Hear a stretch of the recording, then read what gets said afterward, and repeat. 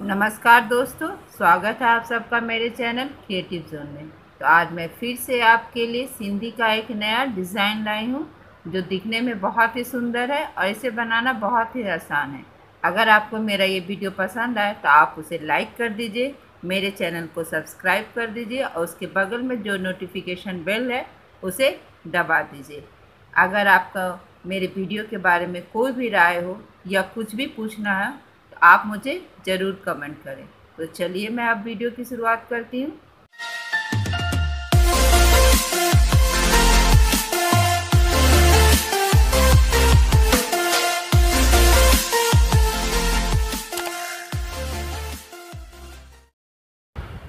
आज के डिज़ाइन का ग्राफ इस प्रकार से है। आप चाहे तो वीडियो को पॉज करके देख सकते हैं। मैंने यहाँ से, यहाँ पर पहले से ही शीशा लगा दिया। अब मैं आपको बताती हूँ इस डिज़ाइन की शुरुआत कहाँ से करना है? तो सबसे पहले हम यहाँ पे, इस तरह से यहाँ पे कॉर्नर में सुई निकाल लेंगे। और सुई निकालने के बाद, अब जैसे जैसे मेरा ग्राफ देखे, आप यहाँ से यहाँ जा रहा है तो हम यहाँ पे इस तरह से थोड़ा सा कपड़ा पकड़ते हुए और धागे को सुई से आगे करते हुए यहाँ, और यहाँ से आप देखेंगे ग्राफ यहाँ जा रहा है। तो जैसे जैसे ग्राफ जा रहा है, हम वहाँ पे थोड़ा थोड़ा कपड़ा पकड़ के और सुई को, सुई से धागे को आगे रखेंगे इस तरह से। और फिर देखिए यहाँ जा रहे थे। यहाँ हम यहाँ, इन दोनों के बीच में यहाँ पे। हम पहले ही जब दो आए तो एक पॉइंट बना लेंगे। हमें वहाँ से इस तरह से यहाँ पे आना है और इसके बाद यहाँ से हम यहाँ जाएँगे। फिर यहाँ से यहाँ जैसे जैसे ग्राफ जा रहा है, हमें वैसे वैसे जाना है।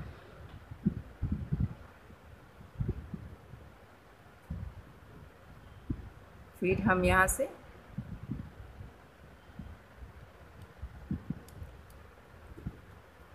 यहाँ आएँगे और यहाँ से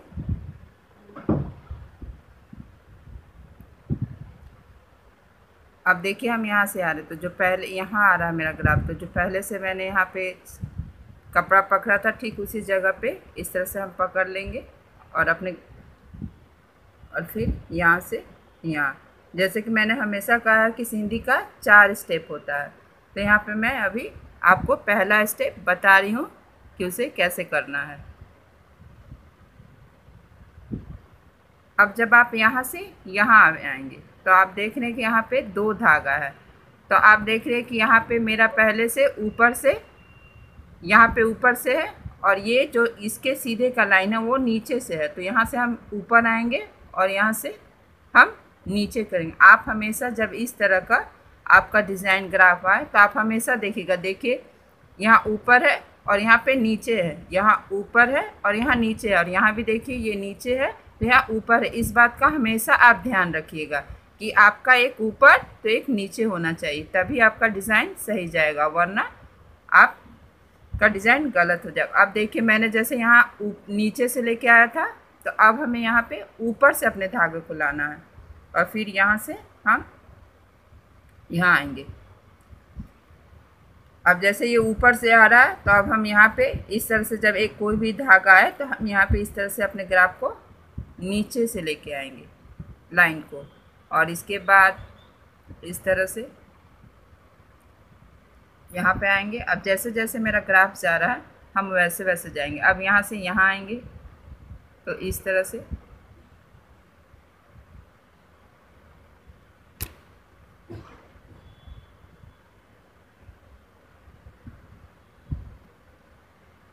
यहाँ से यहाँ और फिर यहाँ से हम यहाँ पे आएँगे।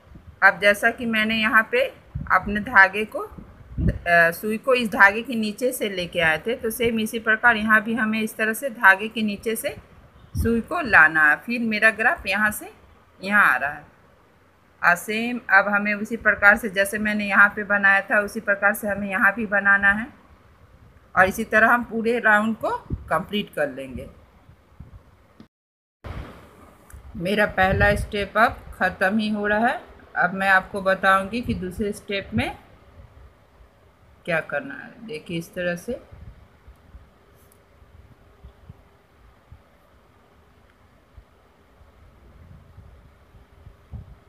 और यहाँ पे हम अपने सुई को धागे के नीचे से लेकर जाएँगे। और फिर देखिए जो मैंने पहले जहाँ स्टार्ट किया था, अब मैं वहाँ आ गई हूँ। तो इस तरह से यहाँ पे ऐसे थोड़ा सा कपड़ा पकड़ के कर लेंगे। और यहाँ पे इस तरह से हम नीचे सुई करेंगे और ये जहाँ मेरा ग्राफ है, हम वहाँ पे सुई को निकालेंगे।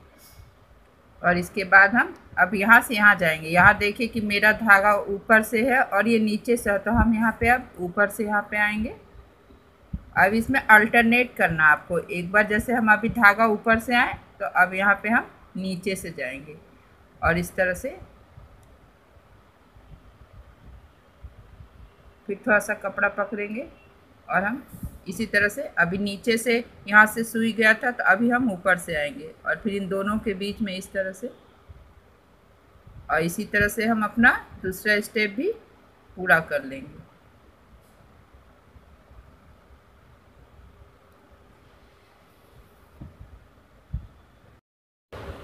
अब मेरा यहाँ दूसरा स्टेप भी ख़त्म हो रहा है। अब मैं आपको बताऊँगी तीसरे स्टेप में क्या करना इस तरह से। यहाँ पे देखिए हम, यहाँ पे मेरा इससे है तो हम यहाँ पे ऊपर से आएँगे। अभी नीचे से गए थे, और इस तरह से। और यहाँ हम नीचे से जाएँगे। इसके बाद जो धागा मैंने यहाँ पे दूसरे से, जहाँ से स्टार्ट किया था, वहाँ पीछे से फिर थोड़ा सा पकड़ते हुए इस तरह से। और यहाँ पे फिर हम यहाँ पे निकालेंगे। अभी हमें यहाँ पे जो दो धागे का क्रॉस है, हम यहाँ पे इस तरह से यहाँ पे हम निकालेंगे। इसके बाद यहाँ से हम इसमें जाएँगे और इसके बाद फिर यहाँ से देखिए सेमी सर्कल बनाते हुए अब हमें तीसरे राउंड को सेमी सर्कल में बनाना और यहाँ हम कपड़े को बिल्कुल ही नहीं पकड़ेंगे। और ये जो पहले से मैंने पहले और सेकेंड स्टेप में धागे से वर्क किया था, अब उसी के ऊपर से हमें तीसरा स्टेप करना है। यहाँ पे जैसे जो पहले से धागा था, इस तरह से यहाँ पे उठाएँगे और फिर हम यहाँ से यहाँ जाएँगे। और इसके बाद जो यहाँ पे इसको हल्के हाथ से खींचेंगे और यहाँ पे जो पहले से धागा है, उसे इस तरह से सुई पे उठाएँगे और इसे हम इसे खींच लेंगे। और उसके बाद यहाँ से हम इसमें जाएँगे और इसके बाद अब जब हम यहाँ पे आके लौटेंगे तो यहाँ पे देखिएगा एक दो तीन चार धागा है। तो हम यहाँ पे पहले वाले धागे को उठाएँगे इसको हल्के हाथ से खींचेंगे फिर यहाँ दूस, दूसरा छोड़ेंगे और तीसरा को उठाएँगे। उसके बाद हम यहाँ पे इस तरह से यहाँ आएँगे। और आपका डिज़ाइन देखेंगे आप सेमी सर्कल में, बनते जा रहा फिर यहाँ से इसे उठाएँगे। इसके बाद हमें यहाँ आना है। और फिर यहाँ से इसको उठा के फिर हम इसमें आएँगे। और इसके बाद आपको यहाँ से, देखिए आप इसमें, यहाँ पे इस तरह से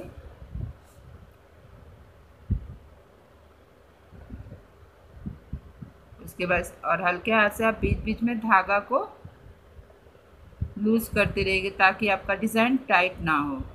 यहाँ से फिर इस तरह से देखिए, हम यहाँ से यहाँ पर आएँगे। यहाँ आने के बाद देखिए, यहाँ से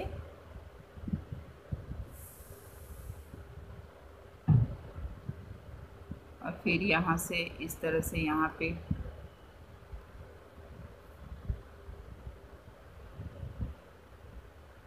फिर यहाँ से यहाँ आएँगे। अब हम इसमें जाएँगे। इसमें हम देख रहे एक, दो, तीन बना हुआ तीन बना हुआ, यानी हम इसको पूरा भर के ही निकलेंगे। इस तरह से एक यहाँ पे आएँगे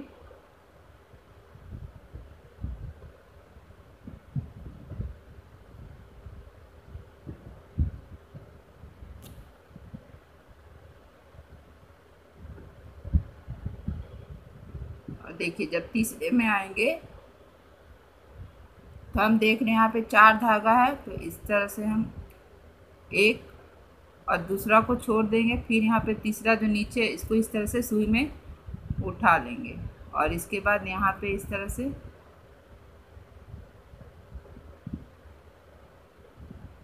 और ये जो पहले से धागा है, हम उसे इस तरह से सुई में लेंगे। फिर हमें इसमें आना है। और इस बॉक्स को भी हम एक एक करके भर लेंगे, जैसे मैंने यहाँ पे भरा था।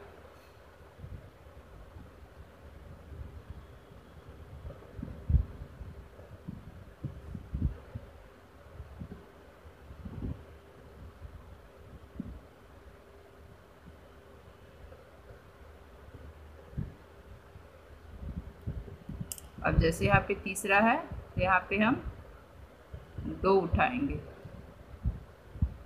एक और दूसरा छोड़ेंगे और फिर यहाँ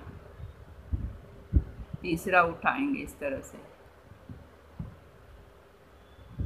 उसके बाद यहाँ से जो बीच में है, इसे हम यहाँ पे एक उठाएँगे। और इसके बाद देखिए, इस तरह से सेमी सर्कल बनाते हुए अब हम इसमें आएँगे। और इसे भी एक एक करके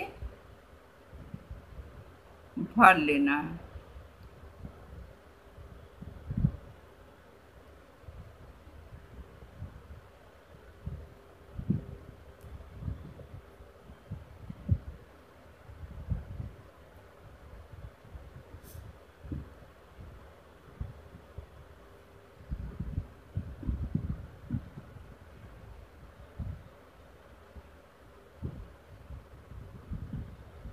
अब हम जब यहाँ पे आएँगे तो यहाँ पे भी देखिएगा, एक, दो, तीन, चार है। तो इसी तरह से चार है तो हम पहला उठाएँगे, दूसरा छोड़ेंगे और तीसरा उठाएँगे। और देखिए, अब ये मेरा ऊपर का डिज़ाइन कंप्लीट हो गया। अब हम यहाँ से फिर इसमें आएँगे।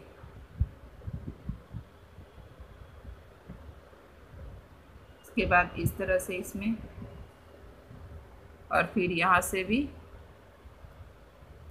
पहला उठाएँगे। दूसरा छोड़ेंगे। अब हम यहाँ पर आएँगे। और इस तरह से इसे उठाएँगे और यहाँ पे फिर हम यहाँ पर उठाएँगे। अब यहाँ फिर से आपका चार धागा दिख रहा है तो यहाँ पे एक धागा उठाएँगे, दूसरे को छोड़ेंगे और ये जो तीसरा है उसे उठाएँगे और और उसके बाद हम फिर यहाँ पर आएँगे। और यहाँ से यहाँ पे। सेम इसी तरह से जैसे मैंने पहले बताया इसी तरह से अब अपने डिज़ाइन को हमें तीसरे स्टेप को इसी तरह बना लेना। देखिए अब यहाँ से यहाँ और फिर यहाँ पर आएँगे और फिर इसे जब देखें यहाँ एक, दो, तीन बना है, यानी कि उसे इसे हम पूरा भर के निकलेंगे। जब नहीं हो तो आधा से होता है। यहाँ देखिए जैसे इसमें गए और यहाँ से अब यहाँ से आएँगे। यहाँ जाने के बाद इसमें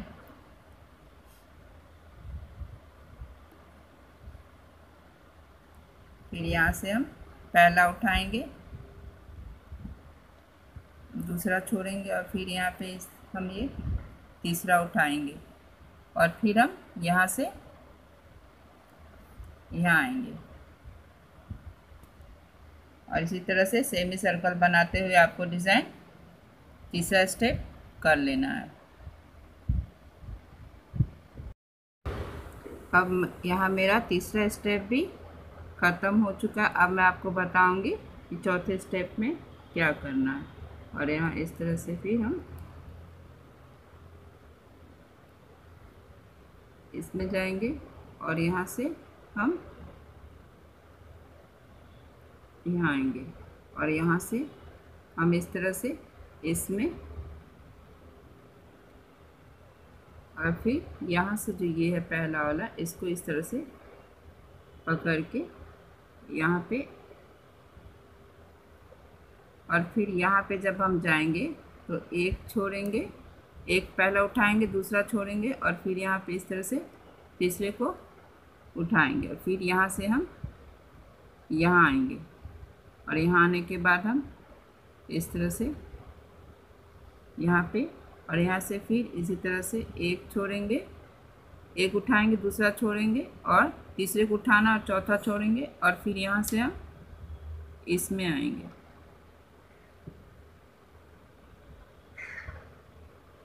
और इसी तरह से चौथा स्टेप भी कंप्लीट कर लेना है।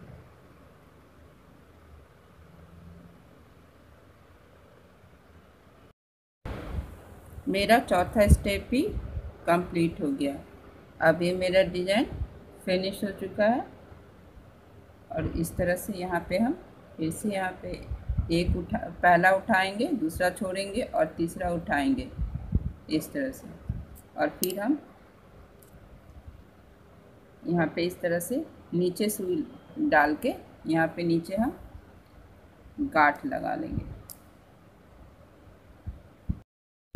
देखिए मेरा डिज़ाइन बन गया है और ये कितना खूबसूरत लग रहा है। और आपने देखा है इसे बनाना कितना आसान है।